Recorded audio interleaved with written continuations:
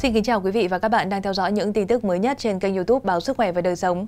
Thưa quý vị, trong vụ sạt lở đèo Bảo Lộc xảy ra hôm 30 tháng 7, ngoài ba cảnh sát giao thông hy sinh thì còn có một nam thanh niên là chiến sĩ công an nghĩa vụ mới ra quân tên Phạm Ngọc Anh, sinh năm 2000, cũng thiệt mạng trong lúc hỗ trợ cùng các chiến sĩ. Ngọc Anh là nạn nhân cuối cùng được tìm thấy trong vụ sạt lở vào trưa ngày 31 tháng 7 với hình hài không còn nguyên vẹn, khiến ai nấy đều không khỏi xót xa. Theo tìm hiểu, được biết nam thanh niên này có hoàn cảnh rất éo le và khó khăn. Xót xa trước gia cảnh nam thanh niên tử nạn trong vụ sạt lở đèo Bảo Lộc. Sáng mùng 2 tháng 8, trong căn nhà nhỏ của gia đình chị Bùi Thị Hảo, 47 tuổi, thôn Đồng Thanh, thị trấn Tân Phong, huyện Quảng Sương, tỉnh Thanh Hóa. Đông người thân, hàng xóm đến chia buồn, giúp chị Hảo dọn dẹp lại căn nhà để chuẩn bị đón con trai chị là Phạm Ngọc Anh về an táng. Kể từ lúc nhận tin xét đánh về con, chị Bùi Thị Hảo quá đau buồn, liên tục nhất lịm vì bị sốc tâm lý. Người thân phải luôn túc trực bên cạnh để chăm sóc chị. Ông Quảng nghẹn ngào cho hay, Ngọc Anh là đứa hiền lành, ngoan ngoãn. Khi nhận tin cháu gặp nạn, lòng tôi đau như cắt. Mới hôm vừa rồi ra quân, cháu nó xuống nhà xin tiền tôi để đi học lái xe. Cháu nói sẽ kiếm công việc ổn định để đi làm gửi tiền về phụ giúp mẹ nuôi em ăn học. Vậy mà chưa kịp thực hiện thì cháu đã ra đi mãi mãi. Vẫn chưa dám tin cháu mình đã thiệt mạng, anh Phạm Doãn Sinh, chú ruột của Ngọc Anh chia sẻ. Khi nghe cuộc điện thoại của một người em từ Đạo Hoai thông báo, ngoài ba cán bộ cảnh sát giao thông hy sinh, còn có một nam thanh niên tên là Phạm Ngọc Anh. Lúc đó tôi không dám tin đó là cháu mình. Khi biết thông tin nạn nhân là chiến sĩ nghĩa vụ vừa ra quân thì tôi như chết lặng, không ngờ cháu ra đi như thế. Theo anh Sinh, Ngọc Anh là người ít nói, thời gian đi nghĩa vụ công an, em rất chịu khó và nhiệt tình, được mọi người yêu quý.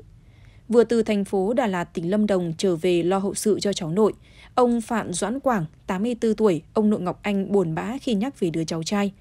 Ngọc Anh là con trai cả trong gia đình có hai anh em. Cách đây 3 năm, bố của Ngọc Anh vì lâm bệnh nặng nên đã qua đời. Kể từ ngày chồng mất, một mình chị Hảo vất vả, nuôi hai anh em Ngọc Anh ăn học.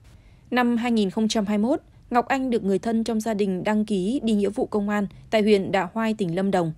Tháng 6 vừa qua, Ngọc Anh vừa hoàn thành nghĩa vụ và đang đi học lái xe tại tỉnh Lâm Đồng. Sự ra đi đột ngột của chàng thanh niên trẻ Ngọc Anh không chỉ khiến thân nhân bàng hoàng đau đớn, mà người dân thôn Đồng Thanh, thị trấn Tân Phong cũng vô cùng xót thương.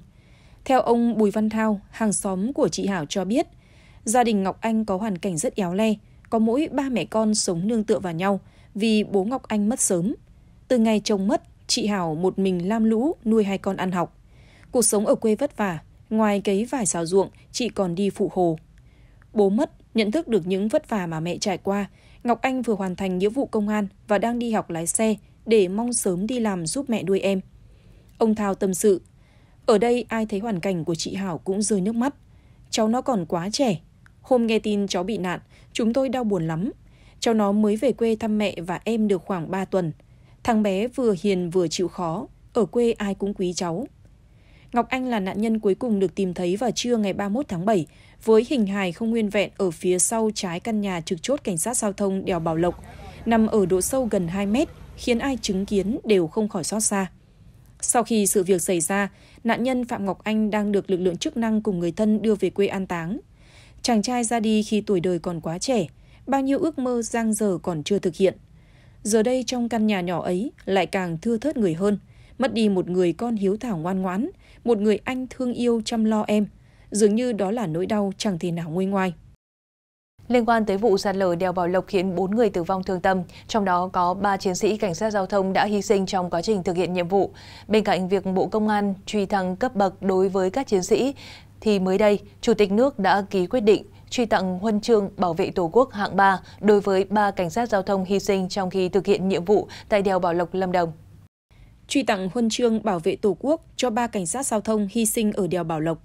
Cụ thể vào ngày 1 tháng 8, Chủ tịch nước Võ Văn Thưởng đã ký quyết định truy tặng huân chương bảo vệ Tổ quốc hạng 3 đối với Trung tá Nguyễn Khắc Thường, sinh năm 1981, quê quán xã Nam Hưng, huyện Nam Sách, tỉnh Hải Dương. Thiếu tá Lê Quang Thành, sinh năm 1977, quê quán xã Triệu Ái, huyện Triệu Phong, tỉnh Quảng Trị. Đại úy Lê Ánh Sáng, sinh năm 1990, quê quán xã Tân Lâm Hương, huyện Thạch Hà, tỉnh Hà Tĩnh vì đã có thành tích xuất sắc trong công tác, góp phần vào sự nghiệp xây dựng chủ nghĩa xã hội và bảo vệ Tổ quốc.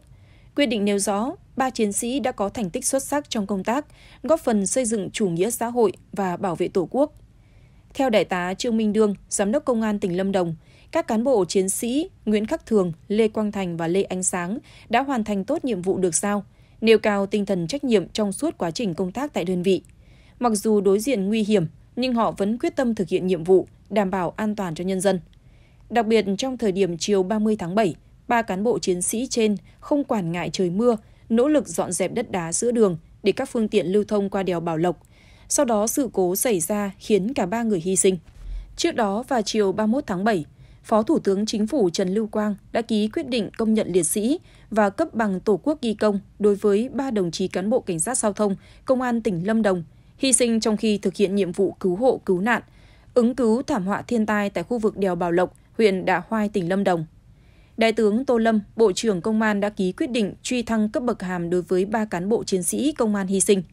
Theo đó, thăng quân hàm cho thiếu tá Nguyễn Khắc Thường lên trung tá, thăng quân hàm cho đại úy Lê Quang Thành lên thiếu tá, thăng quân hàm cho thượng úy Lê Ánh Sáng lên đại úy.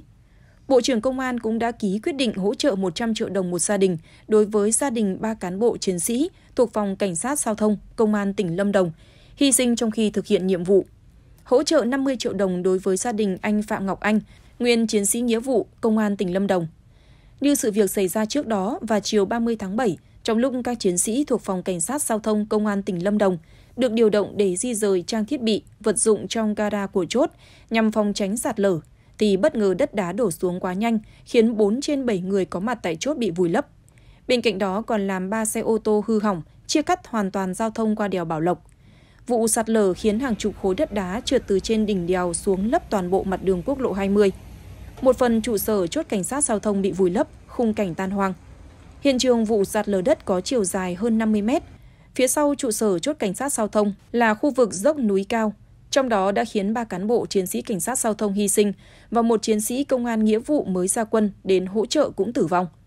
Được biết, trạm cảnh sát giao thông Madagui có lưng dựa vào khu vực đồi, phía trên trồng sầu riêng, thuộc thị trấn Đạ Mờ Ri, huyện Đạ Hoai. Khu vực này có hình nón, có mảng xanh ít hơn, nằm giữa rừng với nhiều cây lớn. Chủ sở hữu khu đất từng trồng cà phê, mít, bơ, sau đó đổi sang sầu riêng vài năm gần đây. Theo Đài khí tượng Thủy văn tỉnh Lâm Đồng, hai ngày trước sự cố, địa bàn chịu ảnh hưởng gió mùa Tây Nam nên có mưa lớn và rông kéo dài. Tại khu vực đèo Bảo Lộc, lượng mưa đo được từ tối 29 tháng 7 đến 15 giờ ngày 30 tháng 7 là trên 190 mm. Đây được cho là nguyên nhân khiến nền đất bị yếu, dẫn đến sạt lở đèo. Đèo Bảo Lộc dài khoảng 10 km, hai làn xe, nằm trên quốc lộ 20 với nhiều đoạn cua gấp, dốc cao, tạo nguy hiểm cho xe đi qua. Đây là tuyến huyết mạch nối thành phố Hồ Chí Minh, Đồng Nai lên Đà Lạt nên đông xe. Sau khi sự cố xảy ra, tuyến đường qua đèo bị đóng mới thông xe vào sáng mùng 1 tháng 8 sau khi cứu hộ giải phóng hiện trường. Đây cũng là một trong nhiều bài học để các địa phương rút kinh nghiệm trong ứng phó với sạt lở đất.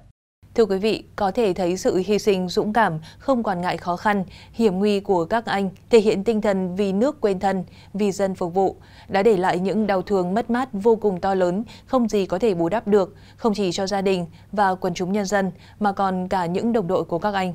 Tất cả những tin tức mới nhất của vụ việc sẽ được chúng tôi liên tục cập nhật. Còn bây giờ xin kính chào và hẹn gặp lại.